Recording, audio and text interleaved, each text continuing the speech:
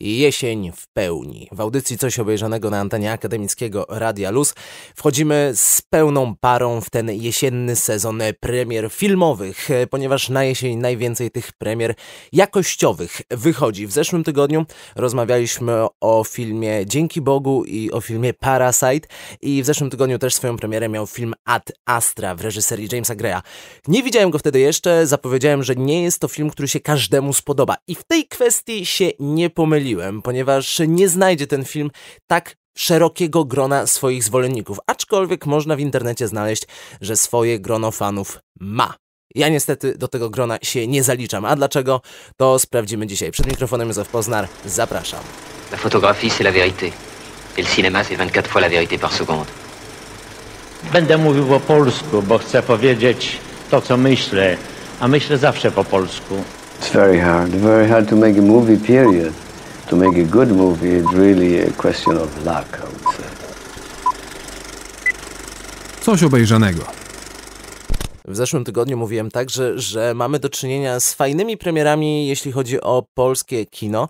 No i tak, jeżeli chodzi o film Nieznajomi, to jeżeli ktoś widział Dobrze się kłamie w miłym towarzystwie, to zaskoczony praktycznie nie będzie i tak naprawdę lepiej obejrzeć ten film oryginalny, bo on robi wszystko lepiej. Ale jeżeli ktoś nie lubi czytać napisów, albo nie lubi języka włoskiego, albo po prostu chce obejrzeć jeszcze więcej Tomasza Kota na ekranie, no to wtedy jest, są to jakieś jakieś racjonalne powody, żeby film Nieznajomi obejrzeć. Natomiast jeśli chodzi o Mowę Ptaków, to po obejrzeniu tego filmu po, po jakimś czasie od y, czasu jego premiery na festiwalu Nowe Horyzonty, to przynajmniej z mojej kwestii nic się nie zmieniło. Dalej nie uważam, żebym ten film zrozumiał do końca, ani żeby ten film do mnie w jakikolwiek sposób trafił. Na pewno robi wiele rzeczy inaczej, na pewno usiłuje troszkę tak wejść w stylistykę gombrowiczowską, ale no nie jest, nie jestem przekonany zupełnie do tego filmu, ale może ktoś coś w nim, coś znajdzie. No tak, taką mam przynajmniej nadzieję. I podobną sytuację, myślę, można znaleźć w filmie Ad Astra w reżyserii Jamesa Greya. To jest y, tegoroczna taka wielka premiera science fiction, ponieważ od jakiegoś ładnego czasu mamy tak, że każdego roku wychodzi co najmniej jeden film e, z gatunku science fiction, ale nie takiego zwykłego science fiction, nie jakiegoś takiego po prostu piu-piu w kosmosie, ale takie głębokie science fiction. Takie science fiction, które po prostu używa tej konwencji e, jakiejś galaktyki, kosmicznych podbojów niedalekiej przyszłości, żeby opowiadać o sprawach przyziemnych, o sprawach aktualnych.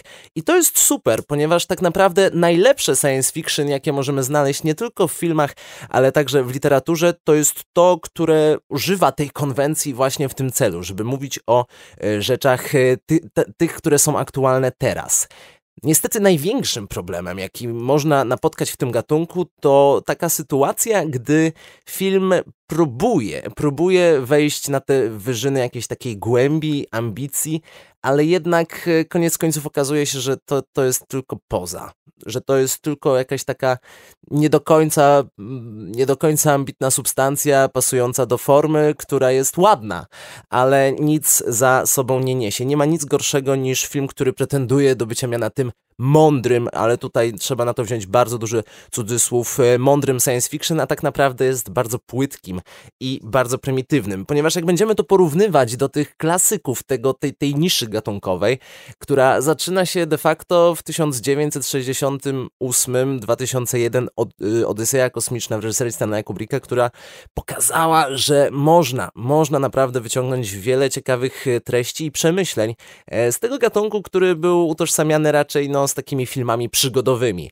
Później tych, tych sytuacji, tych, tych filmów, które pretendowały do, do, do, do zmieniania jakiegoś e, myślenia widzów e, swoją konwencją kosmiczną, już trzymajmy się tego science fiction typowo kosmicznego, było kilka, no, czy to film Kontakt, e, czy to Gataka nawet trochę, chociaż tam ten kosmos taki na, na, na, na tego, na pograniczu, ale nawet Interstellar. Interstellar, który ze wszystkich filmów Nolana najmniej skłania mnie, najmniej mam inclinację, żeby do niego wracać, to jednak to były filmy o wiele, o wiele lepsze. No, Gravity, czyli Grawitacja Alfonso Cuarona, no to też był film zbyt prosty jak na mój gust, ale wciąż odrobinę bardziej ambitny niż Ad Astra, która no, z zapowiedzi Wyglądało to rewelacyjnie.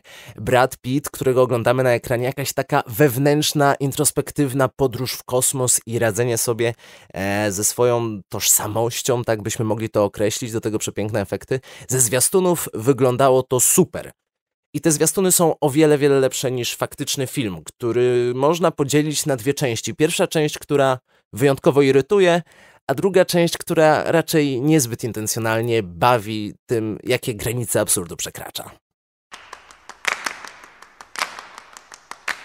Najlepsze słowo, żeby określić e, film Ad Astra w reżyserii Jamesa Greya, który swoją premierę miał w zeszłym tygodniu, wydaje mi się, że to będzie słowo patchwork, bo to jest taki trochę patchworkowy film, który próbuje do kupy sklejać te elementy z odrobinę bardziej udanych filmów, z odrobinę bardziej udanych koncepcji. Próbuje to wszystko zmieszać, żeby opowiedzieć swoją stosunkowo prostą historię. No bo to trochę tak, jakby ktoś obejrzał Interstellar i zobaczył, jakie tam były piękne zdjęcia Dobra, bierzemy operatora kamery i faktycznie tutaj także zdjęcia robi Hoyte van Hoytema, który przepiękne kadry w Interstellarze nam doświadczył. Ktoś obejrzał Sunshine w reżyserii danego Boyla i stwierdził, wow, ten ambient w kosmosie to jest naprawdę świeży koncept i ta muzyka jest bardzo podobna do muzyki z Sunshine, czy też tych trendów, które muzyka z Sunshine nam w dziedzinie filmów kosmicznych wytyczyła, tylko że jest o wiele bardziej taka hmm, blada, nijaka, niezapadająca w ogóle w pamięć.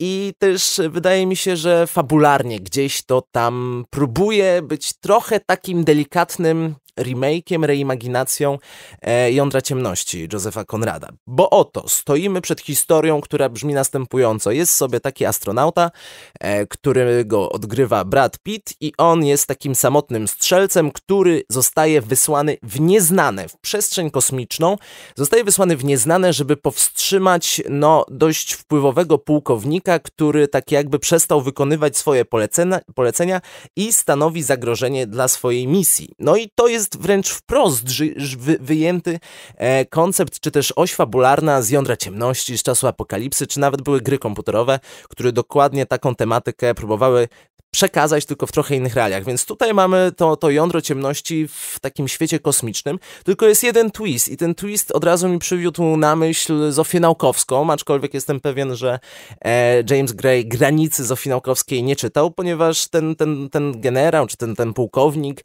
i ten młody astronauta, samotny strzelec, no to oni to jest ojciec i syn. Więc dochodzi nam do tego ten aspekt rodzicielski, dochodzi nam do tego e, jakaś taka przestroga, czy też niechęć ironia tragiczna, żeby nie powielać błędów ojca i czy możemy w ogóle przez pryzmat syna oceniać grzechy ojca i tak dalej, i tak dalej.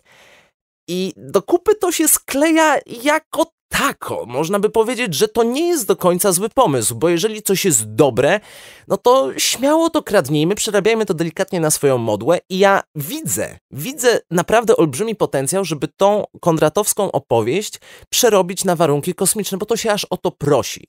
Problem tkwi w tym, że może nie do końca w takiej formie, ponieważ e, zdecydowanie najsłabszym elementem tego filmu byłby scenariusz. I to scenariusz w warstwie dialogowej, ponieważ jak na film, który pretenduje do miana bycia odrobinę ambitniejszym niż inne. Nie jest to film science fiction jak wszystkie pozostałe. Jest to film, który ma skłonić do myślenia. Tak naprawdę nie mamy ani chwili wytchnienia, żeby nad czymkolwiek pomyśleć, bo oto wcielamy się w tą e, postać odgrywaną przez Brada Pitta. On jest tym głównym bohaterem, za nim podążamy i napotykamy razem z nim różne sytuacje. Nie mamy jednak czasu ani chwili, żeby przetrawić to, co te zdarzenia mają, jakie one mają wpływ na fabułę, ponieważ za każdym razem, gdy pojawia się chociaż nic jakiejkolwiek niepewności, to musi się pojawić głos Brada Pitta z Offu, który dokładnie nam tłumaczy, co się dzieje. Widzimy postać na ekranie, której emocje są nie do końca jasne, możemy podejrzewać, że jest smutna, ale oczywiście musi się wtrącić Brad Pitt z Offu. Jest smutna. Widzę to w jej oczach i jest smutna. Jest to zabieg fabularny, jest to zabieg narracyjny, który można powiedzieć, że jest trochę leniwy, ponieważ na ogół się wyznaje taką zasadę, żeby rzeczy pokazywać, a nie mówić wprost. Już, już w adaptacji Charlie Kaufman zastrzegał, że dość, w sposób dość ironiczny, że voice over z, z gdzieś tam w ogóle głos, głos offu to jest najbardziej leniwy zabieg, który, do którego scenarzysta może się uciec. On ma czasami swoje zastosowanie, ale w tym filmie jakoś ono ucieka. Wydaje mi się, że o wiele lepiej można byłoby zbudować tą postać głównego bohatera, jak i cały ten świat przedstawiony, gdybyśmy no nie słyszeli go zbyt często. Gdyby on był raczej niemym bohaterem i my moglibyśmy sobie jego myśli tam wsadzić albo wyciągnąć je z mimiki Brada Pitta, która jest oszczędna, ale z drugiej strony bardzo wymowna w swojej oszczędności. Niestety zabrakło jakiejś takiej pewności ze strony twórców, jakiegoś takiego, nie wiem, mam wrażenie, e, świadomości tego, co się chce przekazać i pewności, że widz to odczyta albo może nie przejmowania się tym, że widz może nie wszystko odczytać, ponieważ w ten sposób dostajemy film, który jest bardzo letni. Jego, jego, jego jakaś taka wymowa zostaje bardzo, ale to bardzo rozwodniona i ja nie chcę filmów, które mają swoją interpretację i mówią nam te interpretacje wprost. Interpretacja, jak sama nazwa wskazuje, powinna być dowolna i różnorodna w zależności od odbiorcy i nie potrzebujemy naprawdę Brada Pita, który mówi nam, co tak naprawdę myśli.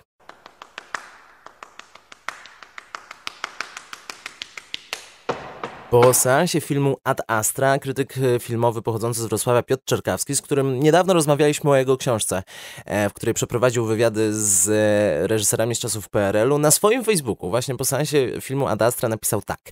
Mam fantazję, w której przywiązany do krzesła Terence Malik ogląda ten film na zapętleniu, aż zrozumie, że można opowiedzieć historię łączącą filozoficzne ambicje, wizjonerski rozmach i refleksję nad toksyczną męskością, a jednocześnie nie popaść w gargantuiczną pretensjonalność. Ja doskonale rozumiem to, że można Terensa Malika nie lubić, aczkolwiek zmuszanie kogokolwiek do obejrzenia filmu Ad Astra na zapętleniu trochę wydaje mi się jest naruszeniem konwencji genewskiej, coś tam o torturach. Tak czy siak, y, Malik na pewno po seansie tego filmu może się sporo nauczyć, przede wszystkim tego, jak filmów filozoficznych nie kręcić. I tutaj trochę można powiedzieć, że Terence Malik jest zarazem pochwalony i skrzywdzony, bo gdzieś w dziwny sposób stał się synonimiczny z takim pokazywaniem filozofii na ekranie w wprost. Filozofii, która nie jest obudowana, bo nie potrzebuje e, tego obudowania. Bo jeżeli obejrzy się jakiś z filmów Malika, ale tego już Neo Malika, tego już po Badlands, po Days of Heaven, to oczywiście można zauważyć to, tą jego bardzo charakterystyczną linię, ten bardzo charakterystyczny styl, który jest podobny w tych filmach, tych powiedzmy pięciu, sześciu filmach, które on od tego czasu e, nakręcił. One nie mają jakiejś głębokiej fabuły, nawet gdy mają mają zarysowaną ciekawą oś fabularną, to ona nigdy nie jest na pierwszym planie, bo tam raczej są bohaterowie i ich przeżycia.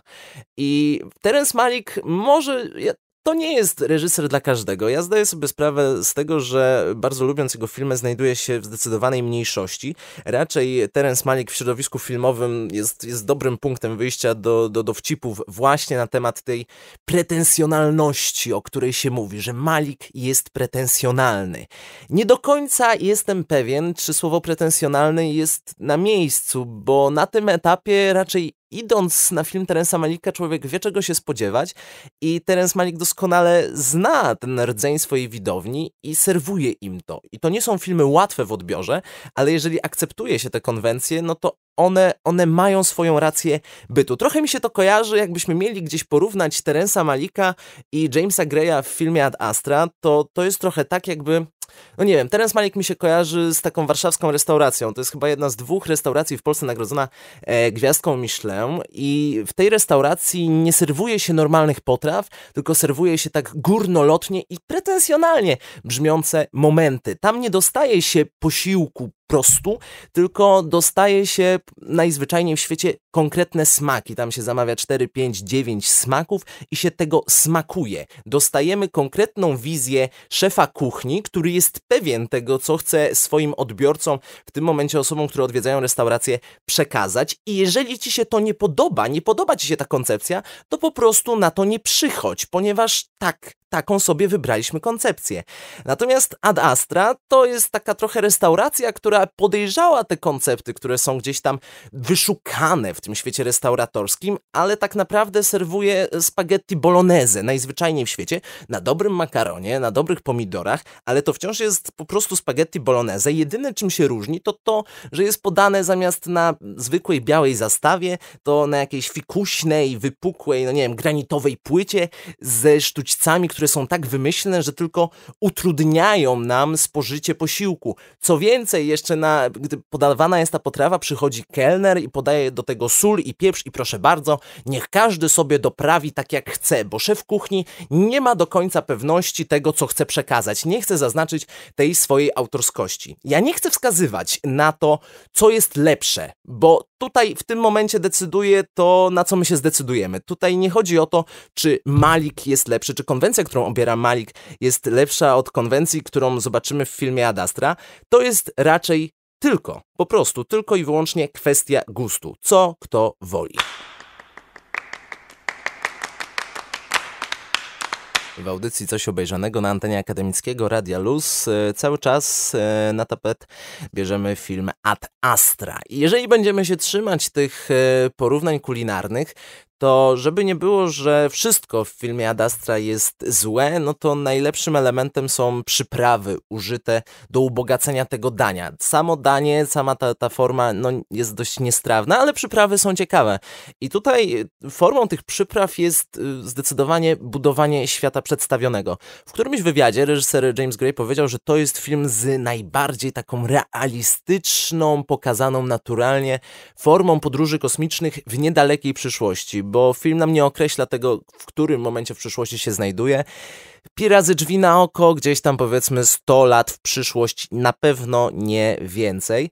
I mamy sporo ciekawych elementów, które wpływają na to, że ten świat przedstawiony jest bogaty. Sporo konceptów, które gdzieś tam w świecie science fiction figurują, ale nie były tak często, e, tak często brane pod uwagę, bo sam film rozpoczyna się od e, powiedzmy misji kosmicznej znajdującej się na tak zwanym Space Elevator, czyli takiej stacji kosmicznej, która nie orbituje gdzieś nad Ziemią, tylko jest przyczepiona na stałe do Ziemi i znajduje się gdzieś tam na wysokości, nie wiem, może z 10 kilometrów. Tutaj nie chcę wchodzić e, w szczegóły, w detale, jak to e, historycznie tam jest. I mamy bardzo fajnie przedstawione jakieś bazy, czy to na Księżycu, czy to na Marsie. One są zróżnicowane i możemy śmiało uwierzyć, że gdzieś tam ta kolonizacja przestrzeni kosmicznej w wykonaniu e, rasy ludzkiej, no odniosła sukces i jest w miarę naturalna. To nie jest czysty świat science fiction, gdzie wszystko jest oczywiście tak krystalicznie wycyzelowane, wszystko jest takie futurystyczne. Bliżej temu do takiego brudnego kosmosu w wykonaniu, no powiedzmy, z Gwiezdnych Wojen, bo tam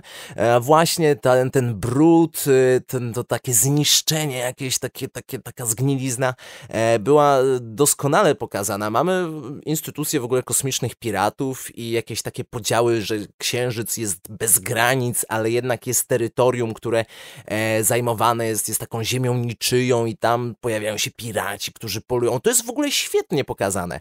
Jakaś taka koncepcja, powiedzmy, walk w kosmosie, no kung fu kosmiczne, które momentami jest kuriozalne, tak do przesady, ale w sumie, w sumie to widziałem bardziej kuriozalne koncepty i w tym filmie, nawet w tym filmie widziałem bardziej kuriozalne rzeczy, więc e, to nie było takie złe. Koncepcja, że zamiast może powiedzmy skupiać się de facto na Marsie albo na, na Księżycu, jak to zwykle bywa, to one są tam pokazane, a większość takiej kosmicznej akcji rozgrywa się w okolicach Neptuna i ten Neptun też jest przepięknie pokazany na ekranie.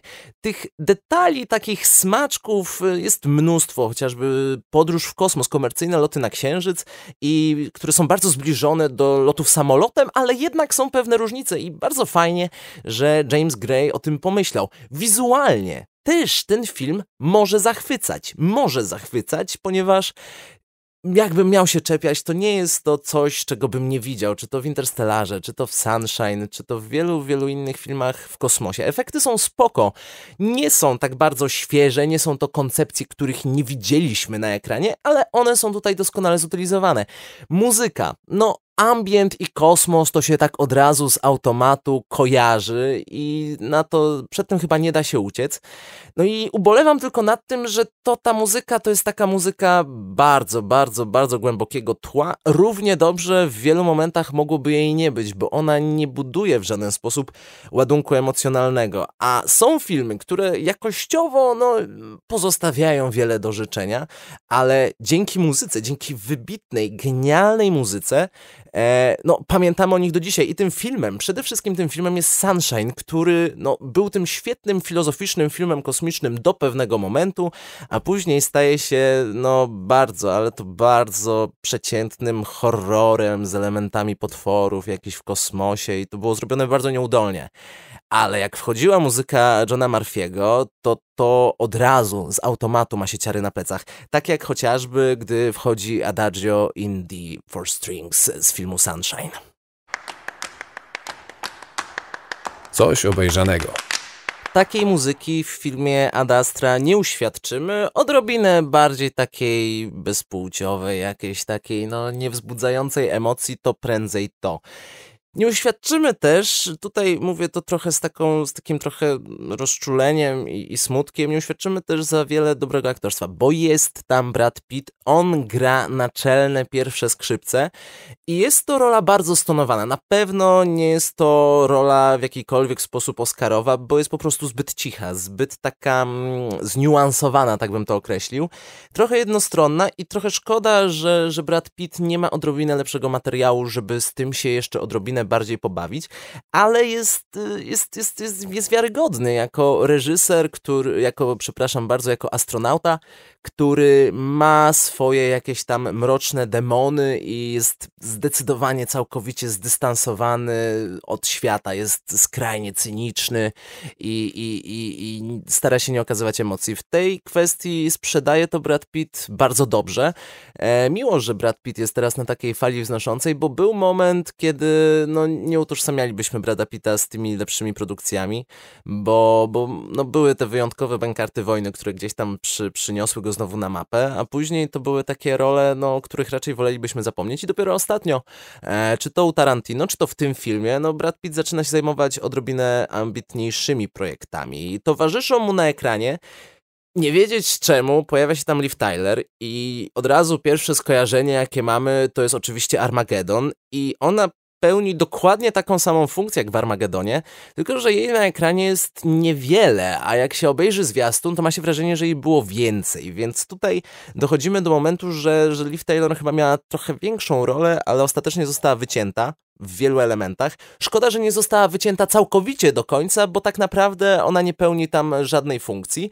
No i jest też e, powiedzmy plejada aktorów tego już starszego pokolenia, bo to znajdziemy na ekranie Tommy Lee Jonesa i Donalda Sutherlanda. Ten pierwszy wciela się w rolę ojca i ona jest bardzo dobra, tak chcę powiedzieć, zaryzykować, bo to jest w miarę dobra postać, kreacja tylko też z odrobinę lepszym materiałem to by się sprawdziło lepiej, ponieważ dawno nie widziałem, żeby Tommy Lee Jones tak się starał, albo jest też wersja taka, że się w ogóle nie starał i tak się zestarzał, że po prostu grał samego siebie i to by było smutne, więc trzymamy się wersji, że po prostu Tommy Lee Jones tutaj wznosi się na takie bardzo dobre wyżyny swojego aktorstwa, bo alternatywa jest bardzo smutna, a Donald Sutherland, no, mm, no nie, no to, to, to trochę, trochę nie, trochę w ogóle nie. I to jest taki jeden z tych elementów, że, że, że mogłoby być z tego trochę coś lepszego. Jest potencjał na coś, coś, co mogłoby na wiele, na wiele dłużej zapaść w pamięć, ale niestety o filmie Adastra raczej się dość szybko zapomni, bo to jest film, który myśli o sobie, że jest trochę lepszy niż pozostałe, że jest odrobinę bardziej mądrzejszy, że robi wiele elementów e, w sposób odrobinę sprytniejszy, ale jak przychodzi co do czego i trzeba to w jakiś sposób ocenić, to okazuje się, że jest to raczej po prostu zwykła wydmuszka. Coś obejrzanego. Cały czas e, na ekranach polskich kin odnajdziemy film Ad Astra w reżyserii Jamesa Greya i gdybym miał podsumować mój największy problem z tym filmem, no to już nawet pal licho te debilne dialogi, które nie mają sensu i są po prostu ekspozycją, bo, bo, bo, bo, bo nawet one nie są dobre i one nawet dobrze nie przekazują tych emocji, które mówią wprost, to wydaje mi się, że największym problemem z tym filmem jest to, że on bierze ten, ten taki wyjątkowy gatunek, jakim jest to science fiction filozoficzne, które powinno mówić o tych rzeczach ważnych, takich aktualnych, tylko przenosi to w inny świat, żebyśmy mogli w lepszy sposób zrozumieć to, o czym mówi. I pokazuje tę historię, która jest historią bardzo prostą. Ja odczytuję tą metaforę tego, tego ojca i syna, takiej jakiejś zażyłości, ale też, też takiej podskórnej nienawiści między tą dwójką.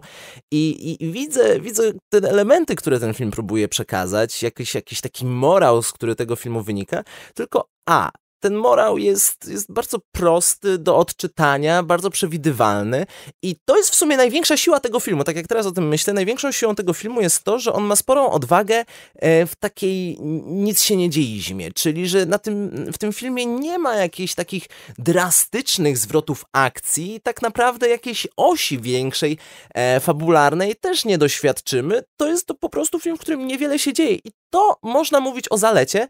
Szkoda, że, że brakuje odwagi w budowaniu tych postaci i w pokazywaniu jeszcze jakiegoś takiego większego marazmu, jakichś takich e, bardziej, bardziej ambitnych aspektów filozoficznych, bo to, że no ludzie są źli, szukamy, patrzymy w kosmos, szukamy obcych cywilizacji, a powinniśmy się przyjrzeć samemu sobie, to to jest bardzo proste i to nie zmieni niczyjego myślenia i z tego z samego tego powodu porównywanie Adastry do filmów Malika to jest jakieś najzwyczajniej w świecie nieporozumienie.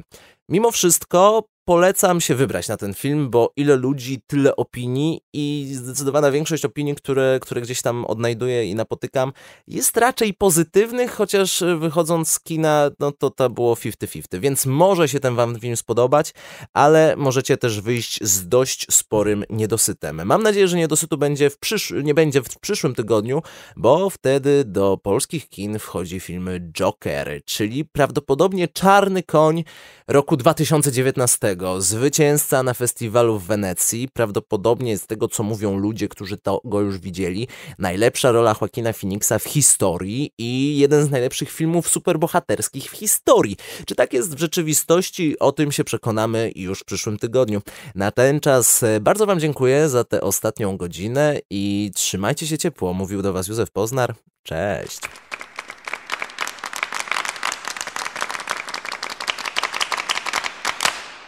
Coś obejrzanego.